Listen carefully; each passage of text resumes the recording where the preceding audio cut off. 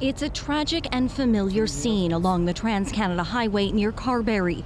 A smashed stop sign, tire tracks. Families rushing to their loved ones in hospital after a serious crash Monday night. A vehicle heading southbound entered the intersection, making a east or wanting to make an eastbound turn. At that point, struck a vehicle. Both then hit a third. Three people were rushed to hospital, including a woman in her 40s, airlifted in critical condition. All are expected to survive. But it's bringing back painful memories. Just steps away, 17 crosses for the lives of seniors killed in a crash at that same intersection just six weeks ago.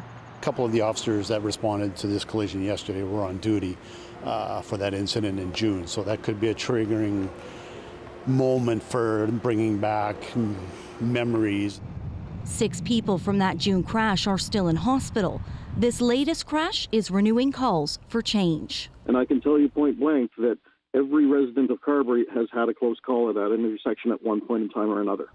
It's one of the busiest uncontrolled intersections along the Trans Canada Highway in Manitoba. Drivers on Highway 5 need to cross four lanes of traffic. The province says pavement markings and rumble strips will be added to the area within the next two weeks, and advanced warning signs will be installed shortly after. We want to make sure the, that you know safety is, is paramount and uh, making sure that all the people driving through that intersection are, are safe. The former mayor of Carberry says there needs to be an overpass.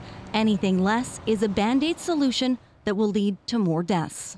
That's the sad reality of it. It's disconcerting, it's disheartening. You wish that there would be a change. The province's safety review, which could lead to bigger changes, is expected to be completed by late fall. Brittany Greenslade, CBC News, Winnipeg.